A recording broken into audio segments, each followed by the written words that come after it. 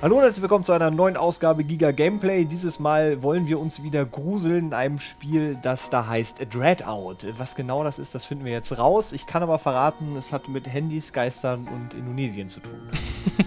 Los geht's.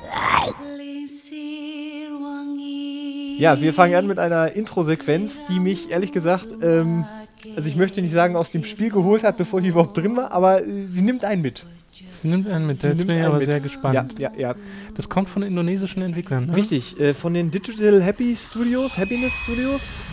Ein Entwickler, den man. Oh, äh, Wieso tierten das bei uns so krass? das weiß ich nicht. Eben hat das nicht so krass getiert. Äh, ist aber egal, weil das äh, sieht trotzdem aus, wie es aussieht. ja gut, das muss man gleich dazu sagen, dass ihr grafisch jetzt nicht das Großartigste erwarten solltet. Richtig. Ich mag aber diese, diese Musik. Da Es geht man. um ein Horrorspiel übrigens. Es ist ein Horrorspiel. Ja. Ja, genau, indonesische Oh. Entwickler, die haben letztes Jahr äh, im März die Demo auf äh, Steam Greenlight veröffentlicht und haben äh, seit dann äh, seitdem daran gearbeitet und haben jetzt den ersten Teil rausgehauen für, Ja. ich glaube, knapp 18 Euro oder sowas. Der zweite Teil wird dann nachgeliefert, umsonst für alle, die das Ding quasi unterstützt haben. Mhm. Und äh, ja, es ist ein äh, Third-Person-Horrorspiel, das so ein bisschen an die, äh, äh, wie heißt das auf Deutsch, äh, die Zero-Spiele ist das, glaube ich, ne? Ja, ja, Project Zero. Project Zero, das heißt, man läuft da mit einer, einer Kamera durch die Gegend und fotografiert Geister. Genau. Ja, da, also gewöhnt euch lieber schnell daran, dass es halt aussieht eher wie ein PlayStation 2 Spiel. Ja, mit etwas, etwas besserer Auflösung. Und das ist eine Sache, die. Ah, also es gab damals die Demo, die habe ich wirklich gerne gespielt. Ähm, Mhm. hab, fand das auch sehr schön.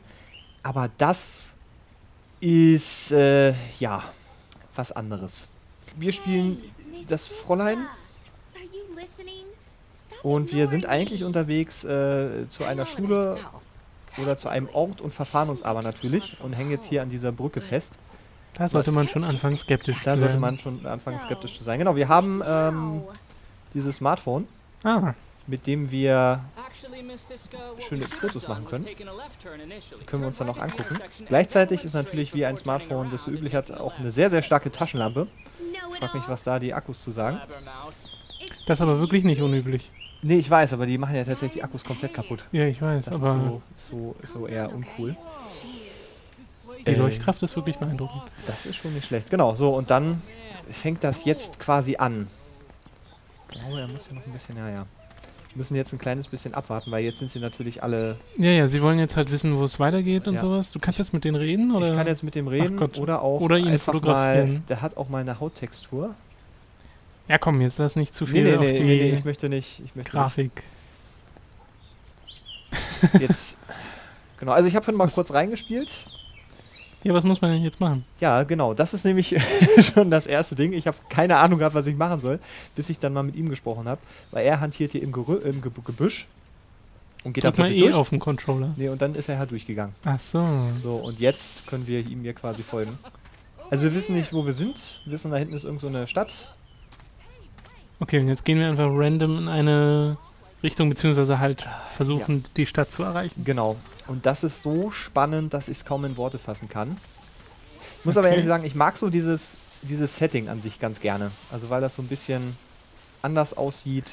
Ich finde interessant, dass du nicht alleine startest, weil ganz viele Horrorspiele fangen ja so an. Ja. Du bist alleine irgendwo, sondern hier bist du mit deinen Kameraden und wahrscheinlich ändert sich diese Alleinsituation gleich, aber Ja, ja, genau. das zumindest als Start finde ich es interessant. Ja.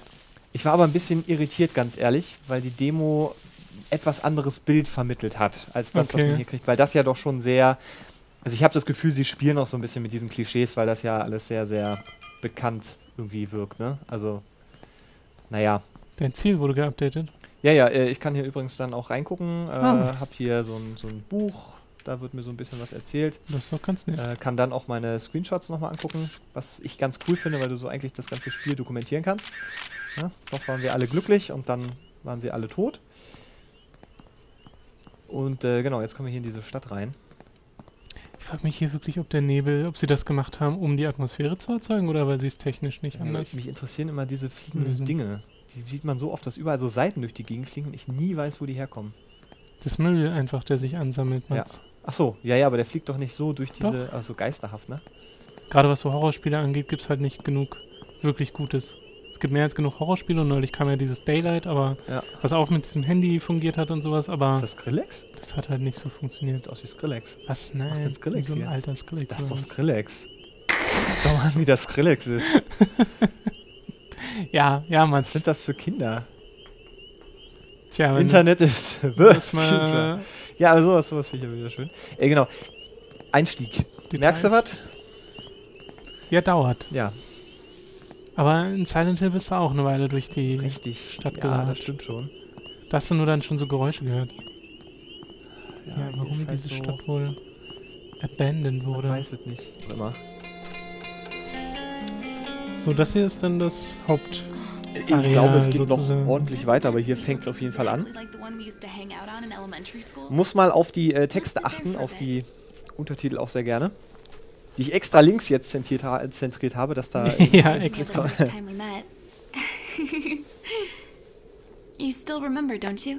Oh, I see. Typical girl time. hey, guys. We're about to check out the inside. Wanna come? What? Okay. Rums ins Gesicht geschlagen. Ja, es ist so.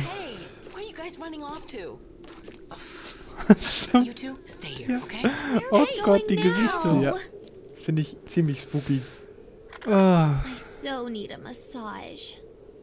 I, Okay, I, I, das I war just. Eine der merkwürdigsten Cutscenes, die ich je gesehen habe. Verstehst du, was ich meine?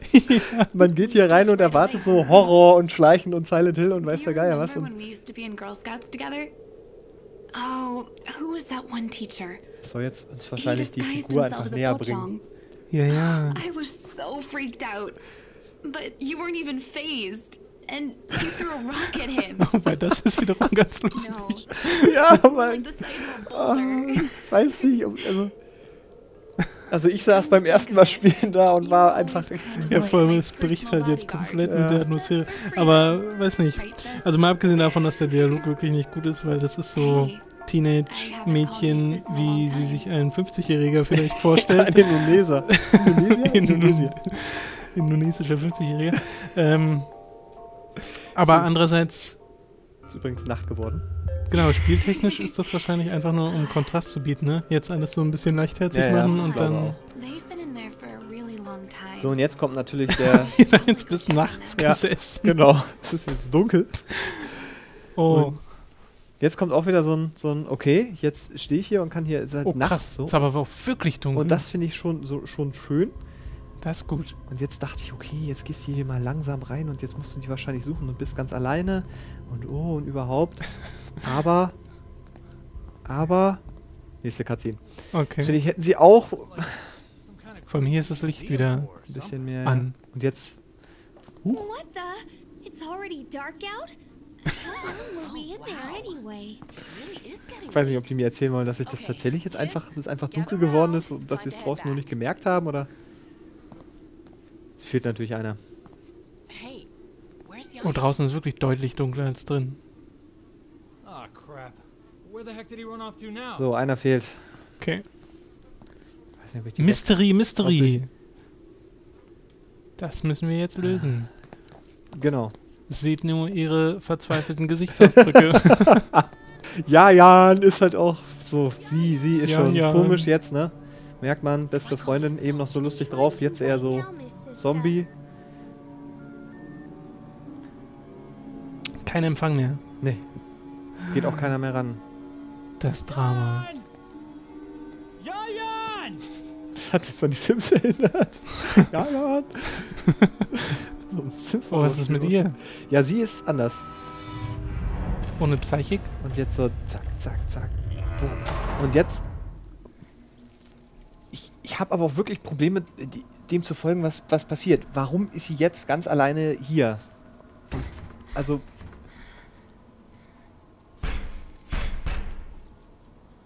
So.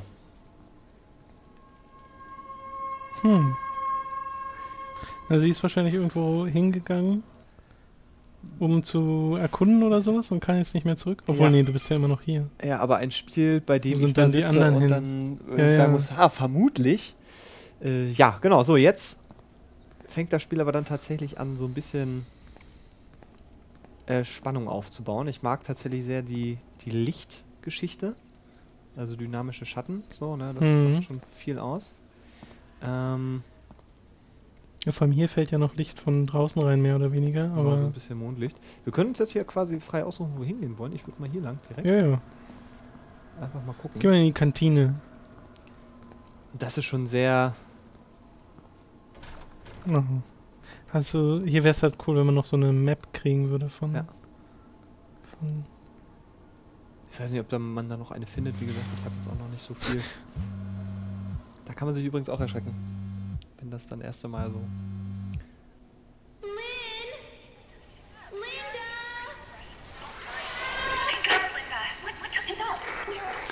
666 sehr subtil. Ja.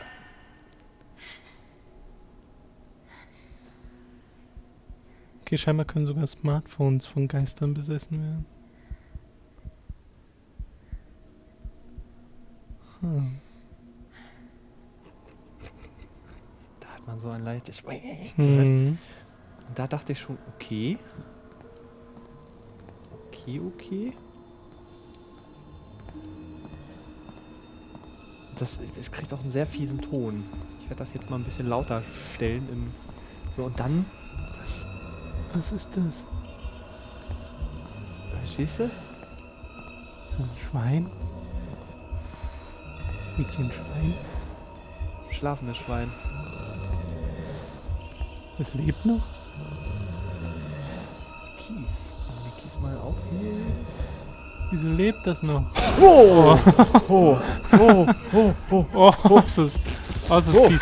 Und jetzt hat man eben diese Funktion, man kann Fotos schießen und Schieß muss. doch. Ah, lauf doch mal weg. Sie wollte jetzt irgendwie nicht schießen. Jetzt schießt sie wieder. Okay. So, und dann vertreibst du es. dann vertreibe ich das in diesem Fall. Äh, und dann gibt es ja diese schöne, schöne Geschichte, dass man, äh, wie gesagt, die Fotos ja nochmal angucken kann, aber hier auch wohl dann die Was zum Teufel? sind. Da. Und dann kann man sich die angucken. Baby. Nickepit. Nickepit. So, aber Infos, Woher hat sie jetzt den Namen? das äh, Wikipedia. Sie so eine App wie Shazam oder sowas, Get- nur halt für, für Monster. Das Info geht übrigens nicht, schade eigentlich. Ja, genau. Kannst du die Fotos nochmal angucken von dem Vieh? Äh, von dem Vieh kann ich nochmal, nochmal, da ist die Kamera und dann... So, Ah ja. schön, dass auch der Mauszeiger dann wieder drin ist. Warum kriegt der hier so Das- ein Menschengesicht? Ich weiß nicht, aber ich finde das sehr, also das finde ich schön, dass die Fotos, die du quasi auch Ja, im ja. Spiel benutzt, dann nochmal angucken kannst. Das hat so einen, so einen schönen Faktor. So, ich gehe da jetzt aber nicht mehr lang. Warum nicht? Ach, der ist das Schwein hingelaufen. Oh, na gut, okay.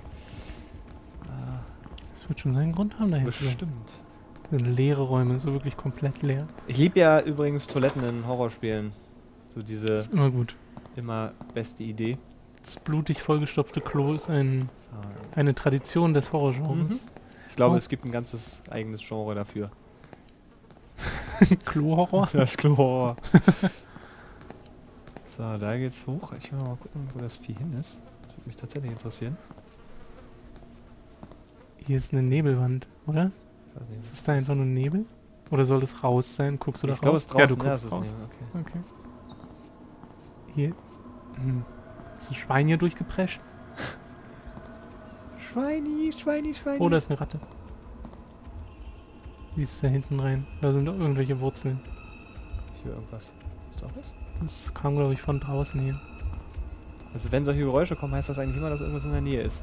Oh, da war's, da war's. Rechts. Ah! Oh Gott! Oh Gott! Nicht gesehen nee, ich hab's nicht gesehen. Ja, mach Fotos. Es ist, Alter. besonders schüchtern. Was ist hin? Hä, es verschwindet dann einfach oder was ist. Nee, da ist es rein. Da rein? Da durch meinst Keine Ahnung. Es ist doch gerade hier reingegangen. Die Schweinejacht bei Giga, ey. Ja. Das liegt hier? War das auch auf? Nee, Naja, jetzt, also wenn, wenn ich das jetzt so im Privaten komplett spielen würde, würde ich tatsächlich jede Tür aufmachen und überall rein. Oh, da ist was. What the fuck? Das war hinter dir. Da, siehst du es nicht? Das ist da rumwirbel? Was ist denn das? Das sieht aus, als wäre da irgendjemand, oder? Geh mal hin. Doch, da ist doch auch irgendwas. Hä? Jetzt geht's wieder weg. Das ist irgendein Phantom oder ja, sowas, ja, aber es da, tut, da tut steht's. dir Da, nichts. da, da. Oder tut's dir was, wenn du jetzt reingehst? Nö. Nö. Wie Oder es merkwürdig. ist ein... Mach mal ein Foto. Geht's weg. Ah, Ah. Oh, oh, fuck. Okay, okay. Oh, Oh. Alles klar. ah, oh, Oh. oh, oh. Und wieder oh, weg. Oh, oh, oh, oh. Wenn der Ah, Bildschirm rot ist, sollte man eigentlich... Ja, sie ist jetzt.